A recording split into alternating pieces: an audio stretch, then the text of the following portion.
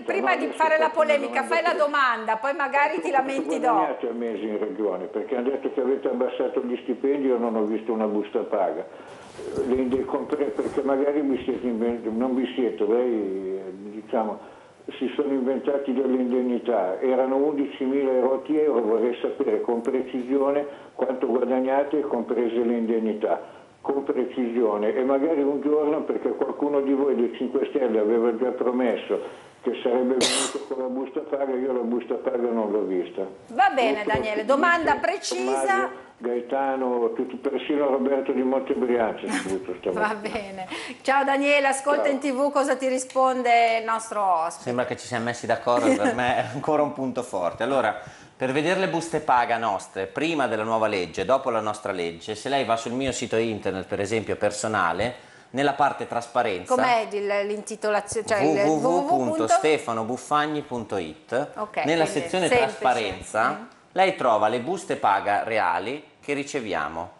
Poi vede la busta paga virtuale, che è quello che noi ci teniamo, i famosi 5.000 euro lordi, poi trova le note spese dei soldi che ho speso eventualmente per l'attività normale. Quindi lui vede veramente la busta paga. Io se vuole la prossima volta vengo, la stampo. Questa e ce la notiamo vedere. così la facciamo vedere Sì, sì, fisicamente. sì, ma non c'è problema, ci sono. Poi, allora, lo stipendio. Fino a giugno 2013 gli importi che ricevevamo erano nell'arco dagli 11.000 ai 12.000 euro.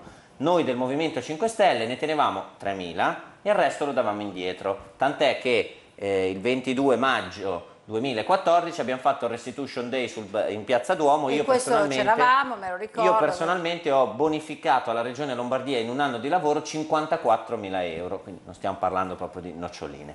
Dopo la legge, dopo la nuova modifica della norma, da 11.000 barra 12.000 si è passati a 7, 8, 8 e 2, Sì. che sono comunque tanti soldi, però rispetto a prima, già soltanto con l'entrata del Movimento 5 Stelle nelle istituzioni, un po' di pressione sul tema c'è stata. Si sono abbassati gli stipendi, noi del Movimento 5 Stelle manteniamo l'impegno che avevamo preso dal primo giorno. Quindi teniamo sempre quella somma e il resto lo ridiamo indietro. Non abbiamo cambiato di una virgola. Questo credo di aver risposto dettagliatamente alla domanda del signore, poi se E avrà, poi comunque potrà richiamare io. stefanobuffagni.it lì trova anche insomma, la testimonianza scritta di quello che Sì, perché noi l'avevamo detto e lo facciamo. Poi su lombardia5stelle.it invece trova tutta la situazione di tutti i nove consiglieri del Movimento 5 Stelle, vede quanto hanno ricevuto, quanto si tengono e quanto ridanno indietro, per una questione di trasparenza. Questa è in formato digitale ovviamente la tua eh, busta paga. Eh, allora facciamo vedere il nome così almeno siamo eh, sicuri che sia la tua, adesso non la trovo, vabbè insomma in ogni caso, eh, dov'è, dov'è? Buffagni, Buffagni Stefano, eccola qua, Buffagni Stefano, mettiamola qua, e poi in fondo, che è la cosa più importante, il netto in busta, Eh, cioè devi tenerlo così.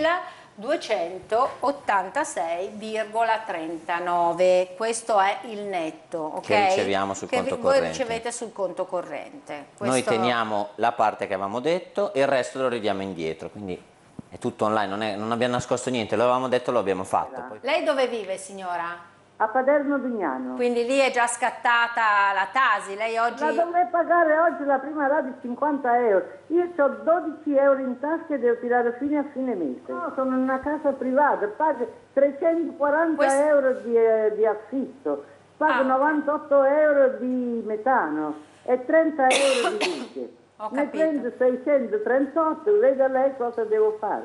Ho chiesto l'aiuto al comune questo- questi mesi e mi hanno passato dei buoni per mangiare e per la farmacia. Insomma, Ma di casi così a noi ne pieno. chiamano cioè, veramente tutti i giorni ed è lo sconforto totale nel dover prendere atto di una situazione che a, a tratti è eh, contraddittoria perché la signora diceva ma come mi danno i soldi per campare, no? per il buono per mangiare e poi però mi chiedono eh, non so quanto 150 passa euro per la Tasi. Allora dove sta la giustizia sociale in questo paese? Beh, Cioè, è evidente che quanto- non è stato perso l'equilibrio diciamo, sociale, ovvero c'è- è aumentata la- il distacco tra le persone che stanno bene e le persone che stanno male, questa è una cosa gravissima.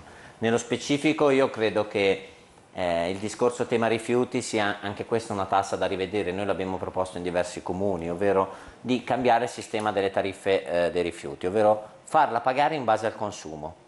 Ovvero si chiama tariffa puntuale. Sì. Cosa significa? Se io consumo tanta indifferenziata pago tante tasse, se io faccio poca indifferenziata e quindi faccio maggiore raccolta differenziata pago meno tassa sui rifiuti. Questo va a aiutare sia le persone come la signora, sia le attività commerciali, perché spesso le attività commerciali pagando la tassa sui metri quadrati della loro attività sono in difficoltà. Questo sistema lo abbiamo già proposto in diversi comuni, in alcuni comuni è in sperimentazione, uno su tutti, ad esempio nel comune di Lissone è partita la sperimentazione in una piccola zona, funziona con dei microchip all'interno dei sacchetti dell'immondizia e noi possa essere un'innovazione. Questo va a incentivare la raccolta differenziata, che quindi ha un valore aggiunto per la nostra società e va a diminuire i costi. Diventa un incentivo in quel Assolutamente, caso. Cioè... perché dobbiamo, ci siamo resi conto che eh, le persone non gli basta il bello obiettivo sociale, hanno anche bisogno diciamo, di un vantaggio in termini economici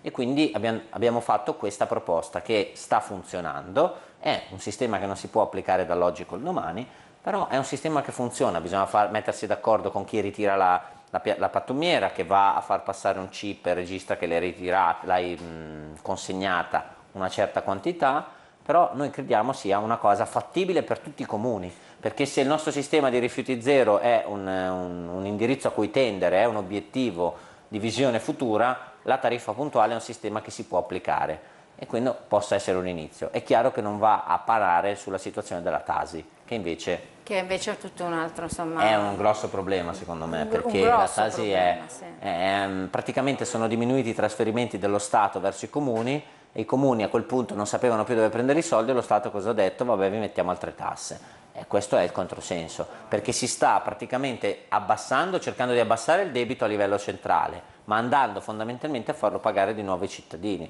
E questo, ripeto, è un controsenso, motivo per il quale noi avevamo chiesto di bloccare questo limite del 3%, di poterlo sforare in fase di investimento in modo tale che tante spese uscivano dal cumulo, perché se vengono fatte delle spese per investire è evidente che non devono andare a pesare sulle casse dei cittadini, quindi noi di proposte le abbiamo fatte